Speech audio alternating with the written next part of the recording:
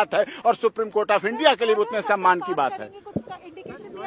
और joint committee को लेकर, ज्वाइंट कमेटी को लेकर उन्होंने कहा है कि हम ज्वाइंट कमेटी का भी गठन करेंगे, जिससे ज्वाइंट कमेटी बने और वो किसानों के कुछ 400 संगठन है 500 संगठन है, कितने संगठन है क्रॉस द इंडिया धरना प्रदर्शन चल रहे हैं, दिल्ली के बॉर्डर पर तो दिख रहे हैं कुछ, लेकिन पूरे देश में धरना प्रदर्शन चल रहे हैं तो उन धरना प्रदर्शन को करते हुए, उन सब बातों को लेते हुए एक ज्वाइंट कमेटी बनाएँगे कि उसमें ज्वाइंट कमेटी में उनकी बात रखी जाए, उनको समझा जाए, उनकी बात हो, जिससे सारा कुछ समाधान निकाल सके। उन्होंने कहा, मैं चाहता हूँ इस समस्या का समाधान हो। बहुत प्रसन्नता की, की बात थी कि honourable supreme court of India के चीफ जस्टिस ने कहा कि हम इस समस्या का समाधान शीघ्र शीघ्र जल्दी से जल्दी चाहते हैं।